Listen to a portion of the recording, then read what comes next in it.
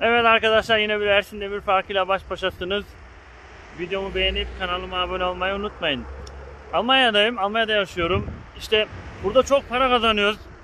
Bol. Çok zaman. Canım sıkıldı. Ne yapayım diye düşündüm. Dedim bir köy satın alayım. Adına da ismimi verdim. Ersingen. Evet bakın şimdi şu an burada Ersingen. Bura benim köy. Parayı şöyle döndürüyorum. Bura neymiş o? Ha eşek var. Eşek çiftliği. Tamam mı? De bak şurada sincap gidiyor. İşte şurada Kahya'nın evi var. Şurası bizim. Şurada da hizmetçiler kalıyor.